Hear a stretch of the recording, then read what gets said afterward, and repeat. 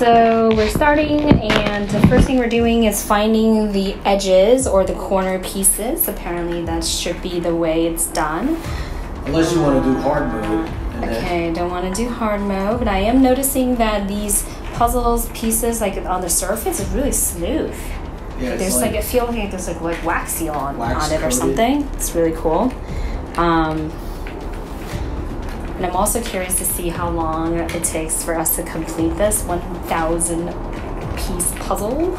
This is a what? What's the dimensions of this puzzle? 1,000 pieces. One thousand puzzle with- pieces, and what's the dimensions? That we I think it was like 27 by 19. inches. Yeah, we definitely need more. So some things are definitely missing still. I'm going to start piecing together, see what I'm missing. What we're looking at right now, we can't see the big picture yet, but it looks like it's going to be pretty amazing.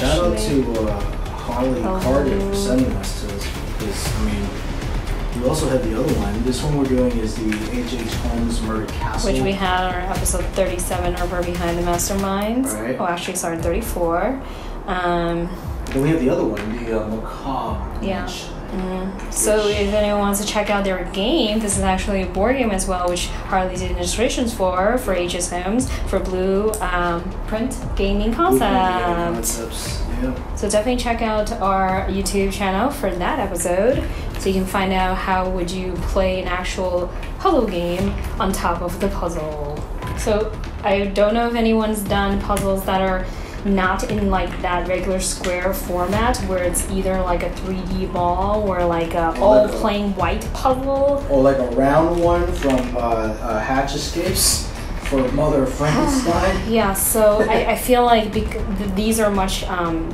easier in that sense, but 1,000, I haven't challenged a 1,000 one in a while. really? Oh my god. I did a. Uh, I feel like the last one we did with my sisters were like 250. no, no, no. we were done, I done like semi-complaining. 2000. Okay, well, how long did it take you? Uh, no, really, it's, uh, Yay! The end.